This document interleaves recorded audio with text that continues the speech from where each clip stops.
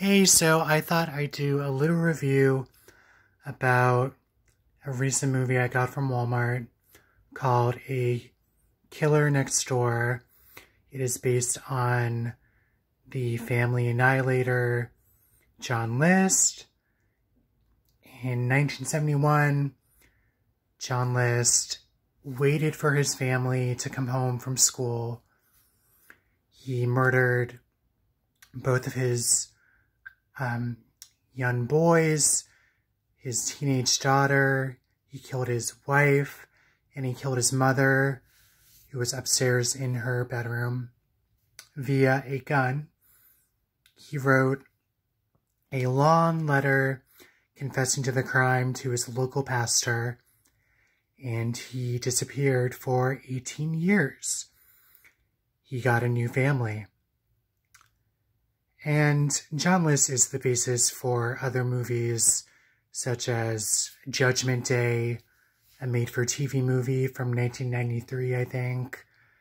He was the basis for an episode of Your Worst Nightmare on Investigation Discovery called Murder House.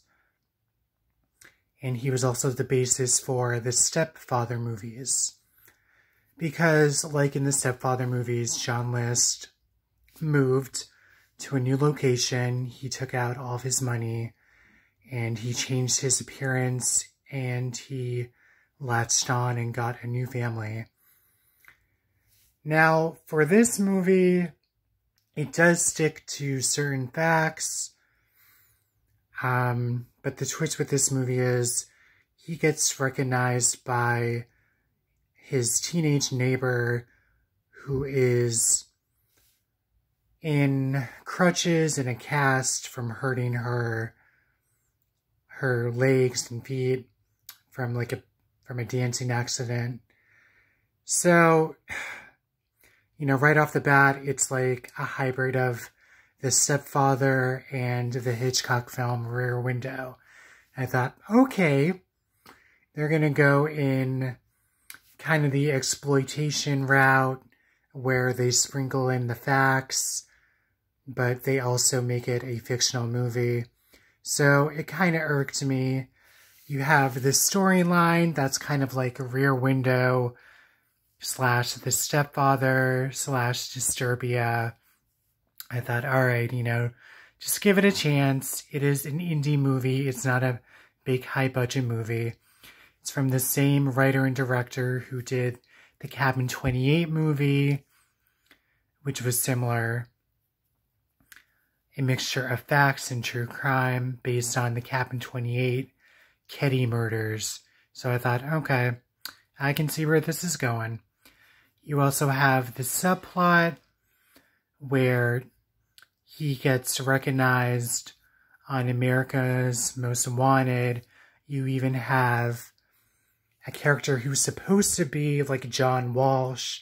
He created the show when his son was kidnapped from a local mall and he was murdered. So he created America's Most Wanted to catch criminals. And how they found John List was they molded and made a special um, clay head and aged it so many years because the movie takes place in 1989 before he gets recognized. So, yeah, I can appreciate them keeping to the facts, but you also have this whole huge plot about his female neighbor watching him and whatnot, and she's she has her female friend and her own uh, hunky teen boyfriend who comes in handy towards the end. So, yeah, if you're looking for a documentary on the John List murders, while it does get some some of the facts right, uh, this ain't it. You might want to stick to um, Judgment Day, John List, the made-for-TV murder. I'm sorry, the made-for-TV movie, not the made-for-TV murder. Jesus Christ or a documentary on TV, like on Investigation Discovery Your Worst Nightmare Murder House. The episode is titled that. But I still kind of liked it, despite the fact that, you know, it kind of did the whole Disturbia and the stepfather hybrid. Uh, even my dad was watching it. He was on the computer working on some stuff. He said, Oh, what movie is this? So he ended up watching like an hour of it and he kind of poked his head in. He said, Oh, did they catch the guy? And I explained, you know, the real facts to him and how the movie ended. So, you know, he doesn't usually like these type of movies, true crime, horror, but eh, it was okay.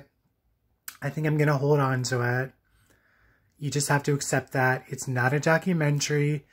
It goes off on its own tangent, copying other movies, excuse me, and whatnot. But if you're familiar with the writer and the director of Cabin 28, then you know what to expect. Um, so yeah, it was okay. Could have been better. I kind of wish it had stayed closer to the real story because towards the end, it really just does its own thing and goes off the rails as opposed to how he was um, identified and caught. But you know, you have to take a lot of the movie with a grain of salt. So that's it for now. My birthday is next Sunday. I will be 36. I bought some movies. Um, I think I'm going to wait until Halloween to watch them. I bought a couple more horror movies. So we'll see. Try to make the best of, try to make the best of it during these times. Just try to do the best. And that's it for now. If you have any recommendations or whatnot, let me know.